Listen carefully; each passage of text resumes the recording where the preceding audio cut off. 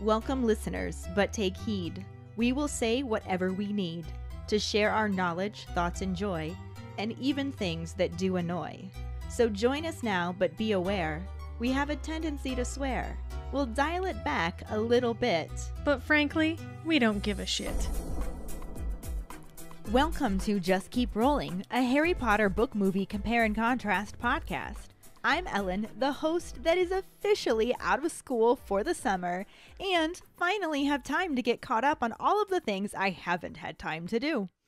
I'm Katie, and it doesn't matter the season, I'm never caught up.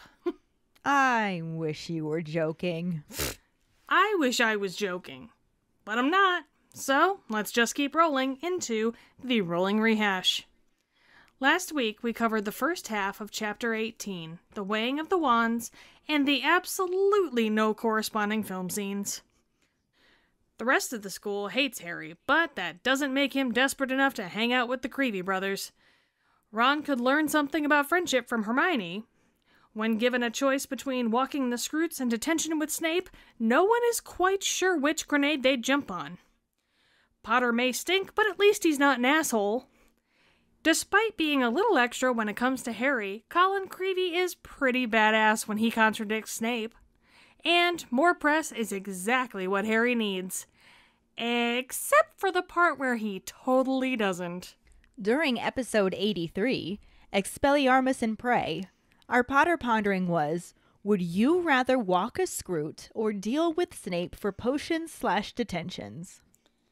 Diana said, Gimme the leash. Like her fellow Hufflepuff Newt, she would gladly walk the Skrewt. That rhymes. Yeah, it does. Carly said Skrewt for sure. Maybe we could snuggle too. Seems to be the Hufflepuff response. Yeah, because Dave is also a Hufflepuff, and he said he would get one of those muggle stiff leashes you use to walk your invisible dogs and make it so the Skrewt walks behind him the whole time, and he's happy as a Hagrid in a room full of three headed puppies. Mike feels like, despite the actual danger posed by the Skrewts, he thinks he would feel in more physical danger with Snape. Maybe he's just being a dick with the threat to poison people, but he thinks he'd take his chances with the Skrewt especially since they aren't fully grown yet. And the Skrewts don't single people out, and according to Hagrid, they enjoy walks, so they're basically just armor plated murder dogs. Juliana says it's a tough call for her, but she's going to go with the Skrewt. Knowing Snape's tendency to bully students, he would probably make her cry frequently, because she's a sensitive claw. Aww. Robert said, seeing how he is a perfectly cunning Slytherin, detention with his head of house seems like a reasonable excuse to plan murder munching situations to please old Moldy Voldy. Amanda said she'd rather walk the Skrewts. Hagrid is awesome, even if a bit misguided in his trust of creatures. Madame Pomfrey can heal physical wounds almost instantly. The mental wounds Snape likes to inflict would take much longer to heal. She's too sensitive of a little Hufflepuff to willingly deal with Snape's bullshit. Quincy said Snape is a dick for sure, but I feel like I'd be more safe with Snape even if he gets on my never ending, everlasting gobstopper nerves. I'd pick him because I believe he has his limits and knows them. Skrewts are some weird breed that Hagrid found and tried to domesticate. Like, what the fuck are they? Pokemon? A scorpion and a Blastoise fucked sounds like the beginning of a bad joke. And all of y'all picking the Skrewts, Diana, Juliana, Carly, Mike, I'm looking at you. More power to y'all. But that's a fuck nope on a rope from me. And I already am not an animal person to begin with, and y'all know how I feel about Snape. So if I'm picking him over Satan's hellhounds, you know something is wrong with those things. No, no, and fuck nope. And fuck Newell with something hard and sandpapery for leaving all the best scenes out of this movie. And I hope he gets a yeast infection. That's harsh. That is. Once again, Quincy does not hold back. Not at all. I love reading those rants, though. Our trivia question last week was How did Rita Skeeter describe Dumbledore in her piece about the International Confederation of Wizards Conference? When Dumbledore caught Rita Skeeter being creepy in the cupboard with Harry, she asked him if he saw her piece about the International Confederation of Wizards conference, and Dumbledore called it enchantingly nasty, saying he particularly enjoyed the part where she described him as an obsolete dingbat. Congratulations goes to Mike Riley. He's halfway to the record at four weeks in a row. I mean, there wasn't a lot of competition for this one, so let's see if he can keep it going for this week's question. For now, Let's just keep rolling into the second half of Chapter 18 The Weighing of the Wands and the film section that actually does somewhat correspond. Chapter 18 The Weighing of the Wands, Part 2. Harry finds himself in a fairly small classroom with the desks pushed aside to leave a large space in the middle and three lined up and covered with velvet in front of the blackboard. Five chairs are behind it, one filled by Ludo Bagman, who is talking to a witch in magenta robes that Harry doesn't recognize. Victor Krum is moodily standing in the corner, and Cedric Diggory and Fleur Delacour are in conversation. Fleur looks much happier and keeps throwing her head back so her hair catches the light as a paunchy photographer watches out of the corner of his eye. Bagman acknowledges Harry's arrival and tells him that they are having the wand weighing ceremony to make sure all their wands are fully functional. He says there is also going to be a photo shoot and introduces Rita Skeeter, who's doing a piece on the tournament for the Daily Prophet. Her hair is set in elaborate and rigid curls. She wears jeweled spectacles and clutches a crocodile skin handbag with thick fingers ending in two inch crimson nails. She requests a word with Harry before they start, and Bagman readily agrees before asking Harry if he has any objection. Unsure of what to say, he just says, er, and is steered into a broom cupboard by the reporter. Harry stares at her as she perches on an upturned bucket, pushes Harry onto a cardboard box, and lights some candles she gets out of her purse. She asks if she can use a quick quotes quill so she can talk more freely with him, and Harry isn't sure what that is. She smiles, showing off three gold teeth, and pulls an acid green quill and some parchment out of her bag. She sucks on the tip of the quill and then places it on the parchment where it balances on its own. She tests that it's working, giving her name and title, and the quill begins to write. Attractive blonde Rita Skeeter, 43, whose savage quill has punctured many inflated reputations. She says lovely and then rips off the top piece of parchment before asking Harry what made him decide to enter the tournament. Harry is distracted by the quill, which begins to write even though he hasn't said anything yet, and he reads An ugly scar, souvenir of a tragic past, disfigures the otherwise charming face of Harry Potter. Rita tells him to ignore the quill and again asks why he entered the tournament. Harry explains that he didn't enter, that he doesn't know how his name got in the Goblet of Fire, but the reporter doesn't believe him. She raises her eyebrow and tells him that their readers love a rebel, but Harry again insists that he didn't enter. Rita changes tactics and asks him how he feels about the tasks ahead, wondering if he's excited or nervous. Harry says he hasn't really thought about it, but he supposes he is a little nervous. She reminds him that champions have died in the past and wonder if he's thought about that. He says that it's supposed to be a lot safer this year, and as the quill keeps writing, Rita mentions that Harry has looked death in the face before and asks how that has affected him. Harry isn't sure how to respond, and she continues talking, asking if the trauma in his past has made him keen to prove himself to live up to his name. She suggests that that is why he entered the tournament, and Harry again has to tell her he didn't enter, now starting to feel irritated. Rita again ignores him and asks if he can remember his parents at all. Harry says no, and Rita continues talking, asking how he thinks his parents would feel if they knew he was competing in the tournament. Harry is even more annoyed now since he has no way of knowing how his parents would feel if they were alive, and he glances down at the words the quill had just written. Tears fill those startlingly green eyes as our conversation turns to the parents he can barely remember. Harry loudly protests that he hasn't got tears in his eyes, and before Rita can respond, Dumbledore pulls open the cupboard door. Rita appears to be delighted, but her quill and parchment has disappeared into her bag as she greets him and asks if he saw her piece about the International Confederation of Wizards conference from the summer. Dumbledore calls it enchantingly nasty and says that he enjoyed her description of him as an obsolete dingbat, which doesn't faze Rita in the least. Before she can defend her words, Dumbledore changes the subject to the weighing of the wands and says that he needs Harry. Harry hurries back into the room and joins the other three champions who are seated in chairs by the door. Professor Karkaroff and Madame Maxime have joined Ludo Bagman and are sitting behind the velvet covered table. Rita settles herself in a corner with her quill, and Dumbledore introduces Mr. Ollivander, who's there to check their wands. Harry recognizes the wand maker who sold him his wand and watches as he calls each champion over, starting with Fleur Delacour. Ollivander inspects her wand, which is nine and a half inches rosewood and contains a Veela hair, which Fleur says was one of her grandmother's. Harry realizes that she is part Veela and reminds himself to tell Ron before he remembers that Ron isn't speaking to him. Mr. Ollivander says that he finds Veela hair too temperamental to use, but says to each his own and makes a bunch of flowers burst from Fleur's wand. He next calls for Mr. Diggory to come forward and acknowledges that Cedric's wand is one of his. It contains a unicorn hair, is 12 and a quarter inches ash wood. He comments that it's in fine condition, and Cedric says he polished it last night. Harry looks at his own fingerprint smudged wand and attempts to rub it clean with his robes, but stops when some gold sparks fly out and Fleur gives him a look.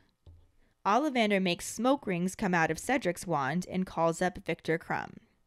Krum slouches forward and hands his wand to Mr. Ollivander, who takes it and identifies it as a Gregorovitch creation, hornbeam and dragon heartstring, rigid, ten and a quarter inches. He says Avis and makes birds fly out of the end of it and hands it back to Krum before calling Harry up for his turn. Harry thinks back to his 11th birthday when he purchased his 11 inch holly wand with a phoenix feather core and learned that the bird that supplied the feather for his wand also provided the feather for Lord Voldemort's wand. Harry hasn't told anyone else about this information and really hopes Ollivander doesn't tell everyone, especially since Rita Skeeter and her quick quotes quill is right there. However, Ollivander just spends a bit longer examining Harry's wand, then makes a fountain of wine pour from it and returns it to Harry, declaring it to be in perfect condition. Dumbledore thanks everyone and starts to dismiss the students, but Bagman reminds him that they need to take photos of the champions and judges. Rita agrees that they should take those first, then get some individual shots, and it takes a long time to get everyone organized, especially since Madame Maxime is too tall to properly fit in the shot. She ends up sitting with everyone standing around her. The photographer really wants to get Fleur in the front of the picture, but Rita keeps pulling Harry into greater prominence. Eventually, they get the group pictures, then individual shots, and are free to go.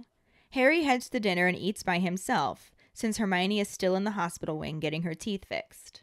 After, he heads back to the Gryffindor Tower and runs into Ron, who brusquely informs him that he had an owl and reminds him of their detentions with Snape tomorrow night, before walking out of the room. Harry considers going after him, but instead decides to read Sirius's reply and pulls the letter off the barn owl's leg. He unrolls it to read a brief letter telling Harry it's too risky to put what he needs to say in a letter and asking him to be alone by the fire in Gryffindor Tower at 1 in the morning on the 22nd of November. He knows Harry can look after himself and doesn't think anyone will hurt him with Dumbledore and Moody around, but thinks someone is having a good try. He ends the note telling him to be on the watch, continue telling him about anything unusual, and to let him know about the 22nd of November. The movie scene starts out on the flash and smoke of a camera bulb. A woman with blonde curls, red lips, narrow glasses, and an acid green outfit steps through the smoke and calls the group charismatic. The camera cuts to show the four champions posed for the photograph, and the woman walks forward and introduces herself as Rita Skeeter, shaking all of their hands and telling them that she writes for the Daily Prophet. She says they, of course, already knew that, and that it's them that the readers want to get to know. The camera focuses on Fleur Delacour's face as Rita continues speaking and touches her cheek before giving it a light smack. She walks around and stands between Cedric and Harry, tousling Cedric's hair, posing more questions that she and her readers want to know. She asks who is feeling up to sharing, and when no one answers, she suggests they start with the youngest and grabs Harry by the arm and yanks him aside. The camera cuts to inside a broom cupboard, where a green quill and piece of parchment float into the air as the door opens.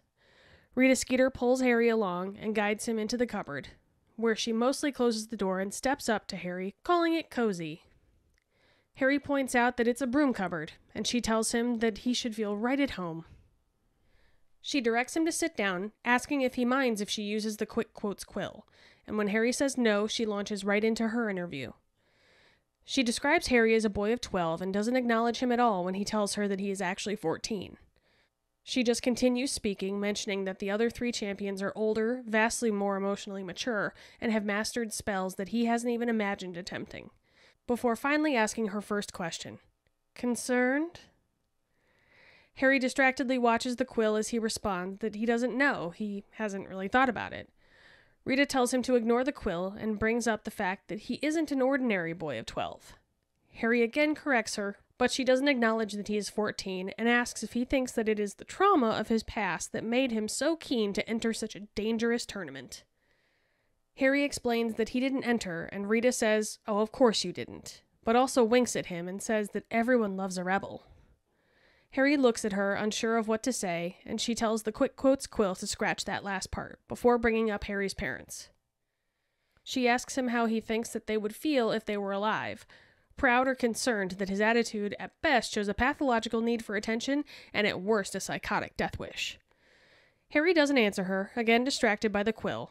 He reads what it had just written down and defensively insists that his eyes are not glistening with the ghosts of his past, causing Rita to give a little shrug. The scene cuts to an owl flying past Hogwarts Castle, up to the owlery, and in through a window, where it lands on a perch in the middle of the room. Harry is standing at the window opposite the owl, looking out over the grounds, and turns to see it holding a letter for him. He takes the letter from the owl's mouth and opens it. As he reads the letter, Sirius Black's voice is heard reading it out loud as a voiceover. He explains that he couldn't risk sending Hedwig since the ministry has been intercepting more owls and she is too easily recognized. He says they need to talk face to face and asks him if he can meet him in the Gryffindor common room at 1 o'clock Saturday night. He also includes a PS that the bird bites, but the warning comes a little too late, as the scene ends on Harry getting bit by the owl. Even though this section has corresponding film scenes, it still has quite a few differences between the two. It really does. In the book, Harry had just gotten out of potions early and was led to a room by Colin Creevey. He enters to find himself in a fairly small classroom with three tables lined up in the front of a blackboard and covered with velvet. Five chairs are behind it, one filled by Ludo Bagman, who's talking to a witch in magenta robes that Harry doesn't recognize. Who could that be? Hmm, I wonder. Victor Krum is moodily standing in the corner while Cedric Diggory and Fleur Delacour are deep in conversation. Fleur looks much happier than Victor and keeps throwing her head back, making her hair catch the light. I'm like tossing the hair that I don't have Yeah. back as I read this. So if I sound strange, it's because my head keeps moving away from the microphone.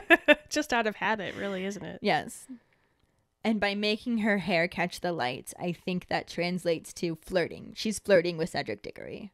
She's happily flirting with Cedric Diggory. I mean, yeah. And it's also being appreciated by a paunchy photographer who's watching her out of the corner of his eye and ew. That's creepy. yeah. That's ew. Yeah. Bagman acknowledges Harry's arrival and announces that they're having the wand weighing ceremony to make sure their wands are fully functional.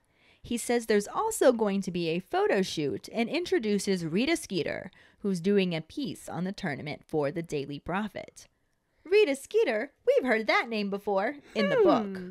I was gonna say, who would Rita Skeeter be in the movie? We've never heard of her. Who's that? Let's find out, shall we? Speaking of people we haven't seen in the movie, Bagman Right? was very obviously not in the movie at all.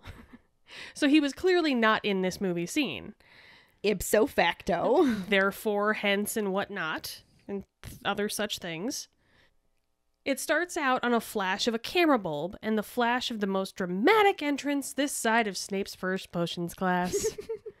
like she seriously just goes whoa, right through the smoke. Through the smoke. Mm-hmm. An audacious looking blonde woman in acid green satin, dramatic makeup, and narrow glasses steps out from behind a puff of smoke and surveys the group in front of her, calling them charismatic. I thought the movie got Rita's look right. Yeah, aside from the green robes instead of magenta. The book describes her hair as set in elaborate, rigid curls. She wears jeweled spectacles and clutches a crocodile skin handbag with thick fingers ending in two inch crimson nails. Yeah, like we said, the biggest difference is that the movie had her in green robes instead of magenta. But, I mean, it fit. I thought it was okay. She looked good in green, for one thing. Yeah. It also, her robes were the color that I expected the quill to be. Mm-hmm. So that reference kind of tied in for me, which we'll obviously get to. True. Okay, yeah. But ultimately, I think it just needed to be a very loud color, Yeah. very attention grabbing. yeah. Magenta, bright ass green. She just, Everybody was going to see that bitch. right, she wants all the attention on her. She wants to stand out, and that's bright ass clothes are the way to go for that. Yep. Really. But the camera cuts to show the four champions still posed for the photograph, and the woman walks forward and introduces herself as Rita Skeeter. Hey, we finally have a face with a name. Yay. Huzzah! Gotcha, journalist and all around giant bitch. At least I think that's what it says on her business card. She shakes all of their hands and tells them that she writes for the Daily Prophet. Which we already knew We knew, yes. because the book. However, this is the first we're hearing of this in the movie. Exactly. She assumes that they already know who she is. Well, of course, they've read the book. Well, obviously, yeah. And insists that she and her readers want to get to know them. She steps forward and strokes Fleur's cheek in really kind of a creepy way before giving it a light smack. Also, in kind of a creepy way. Yeah, it's not just all around creepy. but then she asks what makes a champion tick. She walks around and stands between Cedric and Harry, tousling Cedric's hair like everybody fucking wants to, because let's be honest, he's like, his hair is like 90s boy band, adorable, and I want to tousle it, so. However, she still makes it a little creepy. Well, it is Rita Skeeter, so. She's posing more questions that she and her readers want to know. She asks who is feeling up to sharing and looks for one of them to volunteer. When they all look at her blankly, she suggests that they start with the youngest. I'm sure completely by chance. She had no intention of just grabbing Harry Potter right away. I'm surprised she even pretended to ask. Right? she grabs Harry by the arm and yanks him aside with absolutely zero concern of what any of them actually want. Which, as we will come to find out, Shall we start with the youngest? Wah. like, I mean, she just like grabbed the hook and just. But none of that stuff happened in the book. Wait, what? Rita Skeeter just requests a word with Harry before they start, and Bagman just readily agrees before asking if Harry has any objection. I guess at least it crossed his mind. I mean, but at the same time, like, Harry is stuck in this binding magical contract. There must be something written into where, like, we basically own you. Probably. Harry's not sure how to respond. He's like, Do you have any objection? And he's just like, er. so he just gets steered into a broom cupboard by the reporter. I love the idea that he was just like, yeah, I've got some objection. And they were all just like, great, Let's see you go, later. right. Go ahead. Yeah, so Harry stares at her as she perches on an upturned bucket and pushes him onto a cardboard box, then lights some candles that she gets out of her purse. That's So, creepy. setting the mood. It's not as creepy as in the movie. No, it's incredibly creepy in. They got the sentiment very similar. They just did it, you know, without Bagman. And I'm still mad about that because where the fuck is James Corden? I know I love John Barrowman, but I, I would love James Corden too. It would have been great. It would have been great. It would have been great. Yeah. Hmm. Boo. I had to say it in triplicate.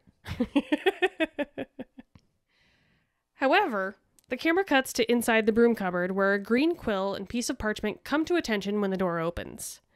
Skeeter shoves Harry into the cupboard where she really steps up the creepiness by mostly closing the door and getting a wee bit too close to Harry before calling it cozy. It was more than a wee bit close. That's cre- it's creepy. I was uncomfortable. It was very cringe. Yeah. That's the best way I can describe Rita Skeeter. She's very She's so cringe. Mm-hmm. Harry says that it's a broom cupboard, and in the Burnfeld round the world, she tells him that, oh, you should feel right at home then. Which is weird because how's she supposed to know that he had lived in a cupboard? Well, obviously, she wrote the movie, so she wrote the other movies, so she knows. I think we actually talked about this before when we were talking about how the Hogwarts letters get addressed to where they're going. Does McGonagall address them, or is this something that happens magically? And Yeah. because it's magic, is that how they knew that he was in the broom cupboard, and then the smallest bedroom, and then the hotel, and then the hut on the rock, and all of those other places? Yeah. Or Is it just magic, or what? does somebody legitimately know? Is there a way to find out?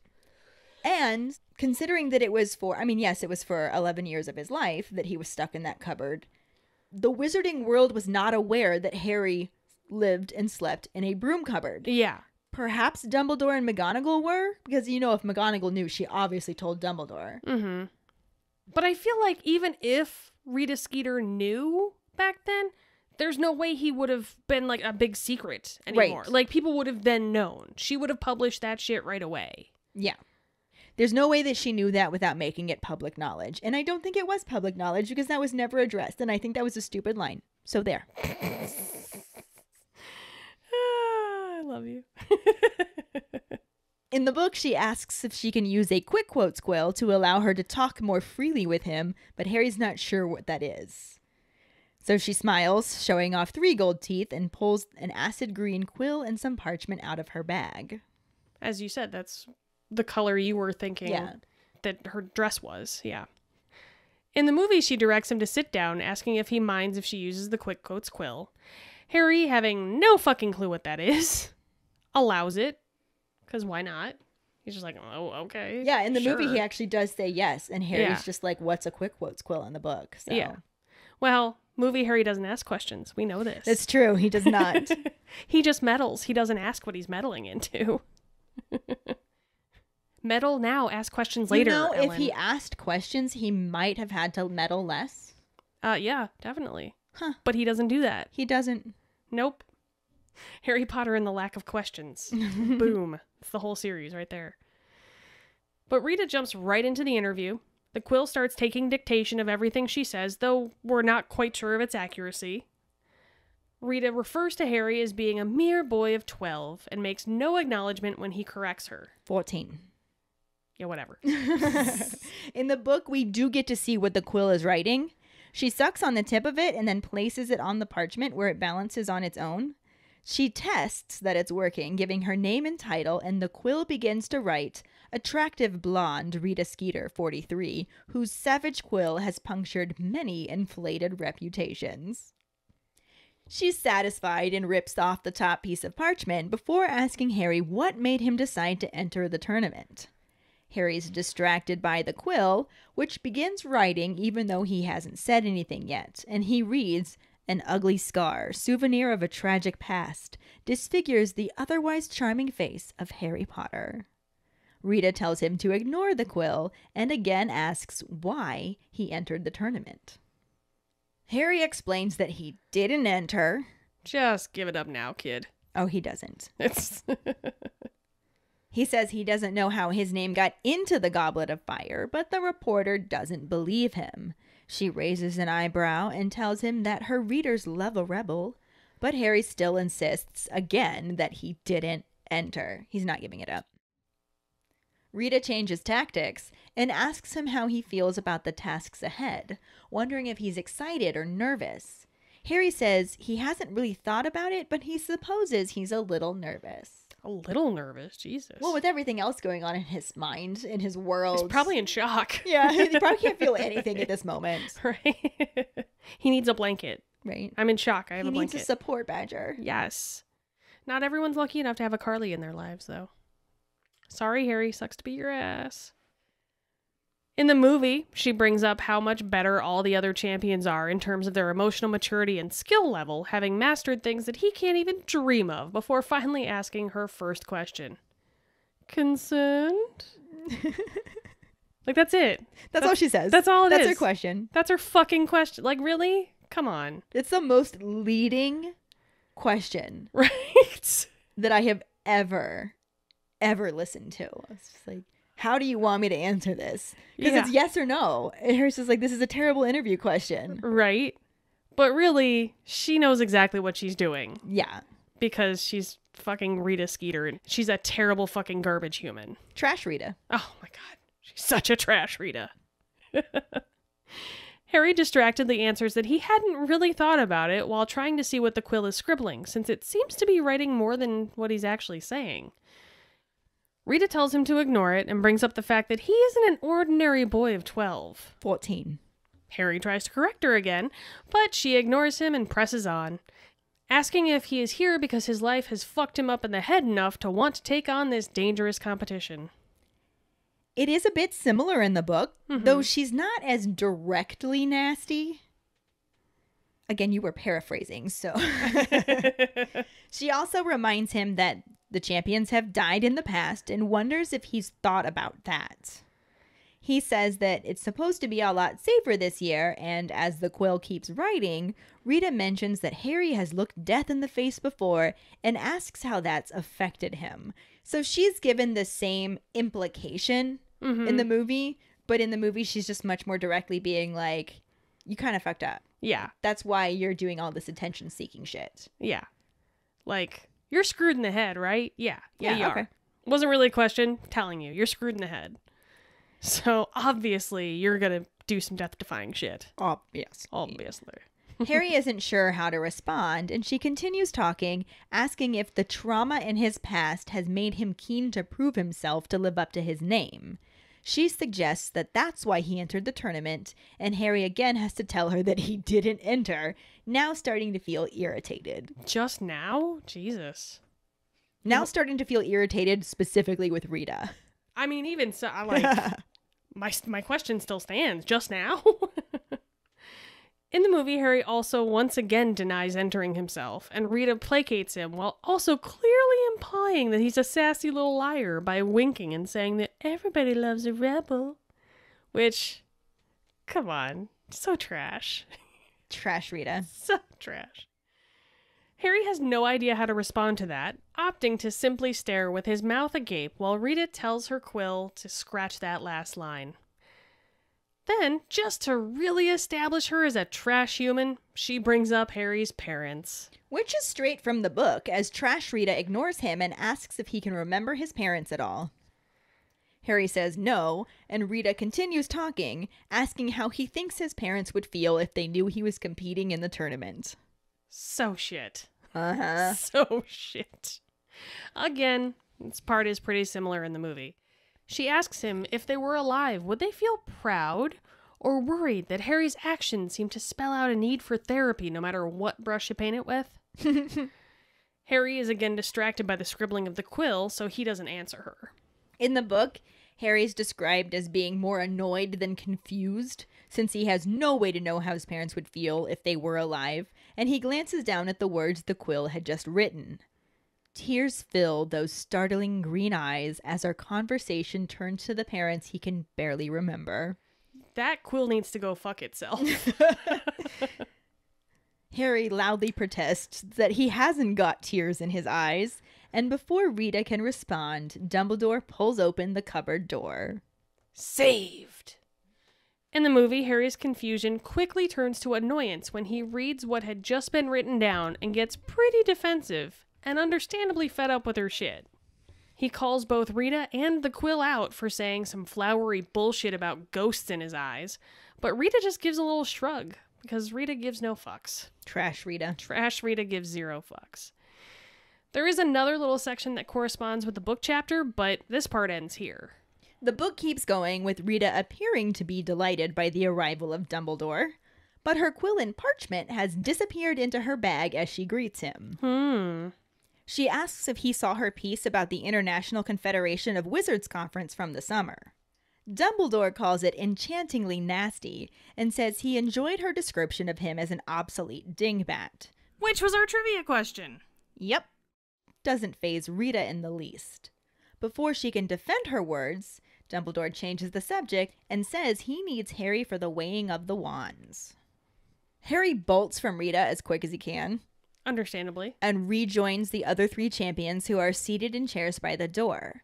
Professor Karkaroff and Madame Maxime are sitting with Ludo Bagman behind the velvet covered table, and Rita settles herself into a corner with her quill as Dumbledore introduces Mr. Ollivander, who's there to check their wands. I wish we would have gotten to see Ollivander I in the movie again. Boo. Harry recognizes the wand maker who sold him his wand and watches as he called each champion over, starting with Fleur Delacour. Ollivander inspects her wand, which is nine and a half inches, rosewood, and contains a Veela hair, which Fleur says was one of her grandmother's. Harry realizes that she is part Veela and makes a mental note to let Ron know before remembering that Ron is not speaking to him. Awkward.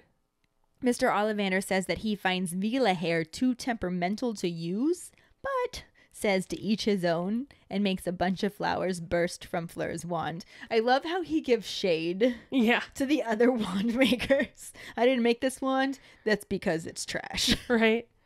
I personally don't use this, but I mean, you can use whatever you want. Like, it's cool. That's fine. This is obviously the wand that chose you, but like saying. I wouldn't have made it. He next calls for Mr. Diggory to come forward and acknowledges that Cedric's wand is one of his. It contains a unicorn hair, is 12 and a quarter inches, ashwood. He comments that it's in fine condition, and Cedric says he polished it last night.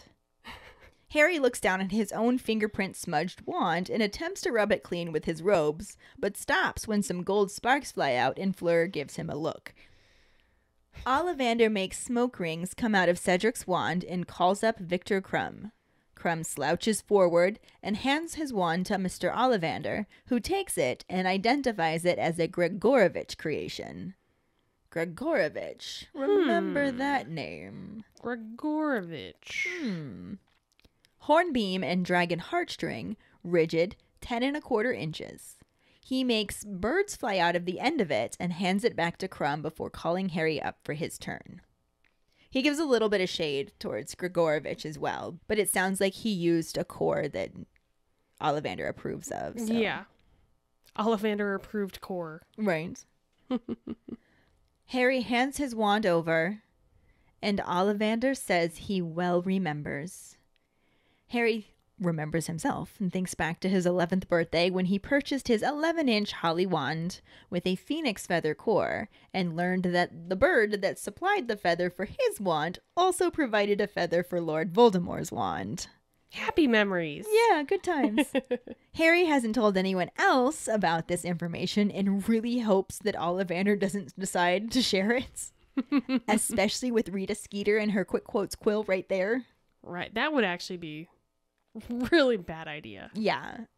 But Ollivander seems pretty smart Yeah. and he doesn't say anything. So he just spends a little bit longer examining Harry's wand, then makes a fountain of wine pour from it and returns it to Harry, declaring it to be in perfect condition. And Harry's just like, wait, what was that spell again? Right? I got to teach it to Seamus. right.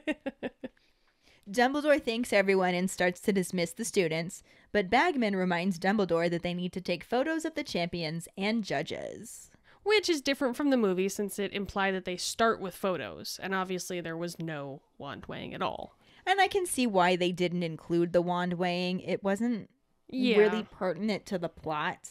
Like it was fun to hear about the other champions' wands. Yeah. And it was interesting to hear Ollivander's shade and you know, that was fun, but at the same time it not entirely relevant. I would have loved to see John Hurt do that scene, though. Mhm. I would have loved it. It would have been nice to have gotten the early mention of Gregorovitch. Yeah. That's always fun, but again, yeah, it's not pertinent. Yeah, it's not that necessary. Mm-hmm. Anyway, Rita agrees that they should take the group pictures first and then get some individual shots. It takes a long time to get everyone organized, especially since Madame Maxime is too tall and didn't properly fit into the shot. Like everywhere they had her arranged, she was just like casting shadows on people, or they couldn't get like she'd like cut off her head, or they'd have to have like stand back in the distance, or Right. Sounds like my husband. so she ended up sitting with everyone standing around her. The photographer keeps putting Fleur in the front, and then Mhm. Rita Skeeter keeps moving Harry to the front, and it just makes me picture that like you're in front, you're in front, you're in front, you're in front, like just and the next thing you know, they're like directly in the front dress of the is camera. pink, the dress is blue, the dress is pink. Harry, Fleur, Harry, Fleur.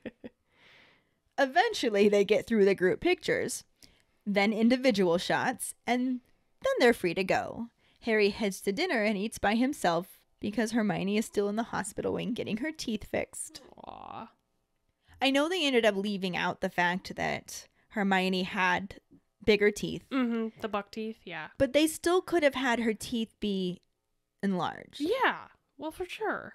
And I do want to say more about the fact that they had to leave out her buck teeth, Mhm. but I'm going to bring that up when we get to a later scene because I think it's more relevant to that moment than right now. Mm-hmm. But I think it's kind of sad that we didn't get to see Snape's true colors as an educator and how that affected Hermione Mhm. and how that ended up only adding to Harry's sense of loneliness and stress throughout all of this. Yeah. After dinner, he heads back to Gryffindor Tower and runs into Ron, who actually speaks to him Ooh. and brusquely informs him that he's had an owl. Plus, he reminds him of their detentions with Snape the next night, but then just walks right out of the room. So, baby steps, I guess. I guess. Sure. Harry considers going after him, but instead decides to read Sirius's reply and pulls the letter off the barn owl's leg. He unrolls it to read a brief letter telling Harry it's too risky to put what he needs to say in a letter and asking him to be alone by the fire in Gryffindor Tower at 1 in the morning on the 22nd of November. He says that he knows Harry can look after himself, but doesn't think anyone will hurt him with Dumbledore and Moody around. But he also thinks somebody's having a good try. He ends the note instructing him to be on the watch, to continue telling him about anything unusual, and to let him know about the 22nd of November. There is a scene that corresponds to this in the movie, but it's about as different as you can get while still getting the same basic information across. The scene cuts from Trash Rita to an owl flying across the grounds to the owlery and landing on a perch in the middle of the room. Harry is standing at the window opposite the owl, just hanging out in a room covered in bird feces, like you do. Like you do. Mm-hmm. He turns to see it holding a letter for him in his beak. He opens the letter and begins reading as super calm and chill Gary Oldman Mild mannered Gary Oldman. can be heard reading it out loud as a voiceover. He explains that Hedwig is too well known and that he doesn't want her to be intercepted since the ministry has been pulling that bullshit lately. He says they need to talk face to face and tells him to meet him in the Gryffindor common room on Saturday night.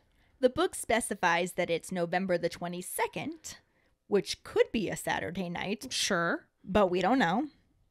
However, in both, the meet time is 1 a.m.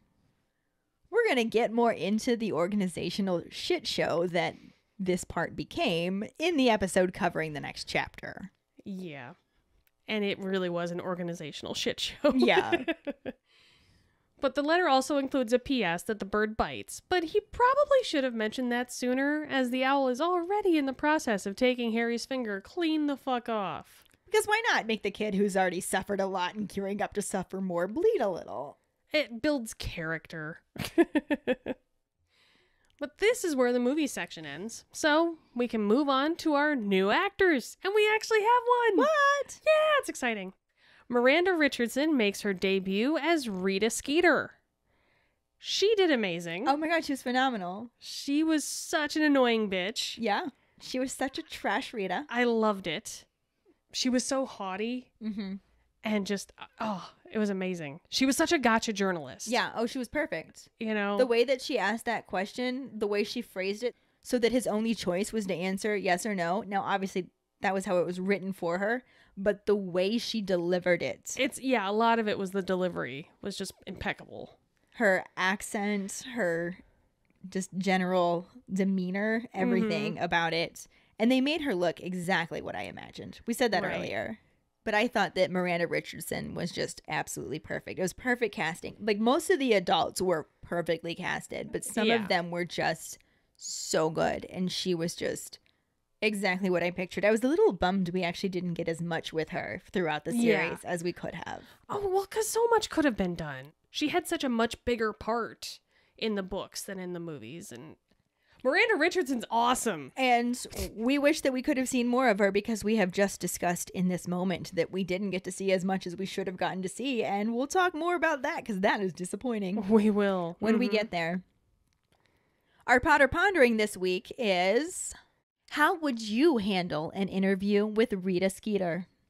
Find the post on our Facebook page and share your thoughts. We really look forward to reading them. This will bring us to our sorting hat story, which is from Maria Culla. She writes The old Pottermore website sorted me into Hufflepuff, the new one into Ravenclaw, with which I identify so much more. My wand is 11 and 3 quarters inches and slightly yielding flexibility, made out of laurel wood and has a dragon heartstring core. My Patronus is an otter, just like Hermione's. I watched the first movie at my sister's birthday sleepover party when I was maybe six years old. My sister and her friends, four years older than me, were all so scared of Voldemort, and I found him funny looking and fascinating. you sure you're not Slytherin? When I was seven, my parents bought me a bunny. I wanted to call it Voldemort, but wasn't allowed to. That's amazing. So I called her after my favorite character, Hermione. Thank you so much for sharing your sorting hat story, Maria. I love that you tried to name your bunny Voldemort. I think that would have been amazing. Right? Honestly. And if any of you other keepers out there listening would like us to read your sorting hat story on a future episode, you can email it to us at justkeeprolling at gmail.com.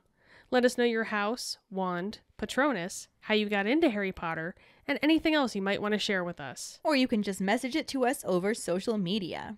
And now for the moment we know Mike has been skipping through this episode trying to find this week's trivia question, which is what were Ron and Harry forced to do during their two hour detention in Snape's dungeon?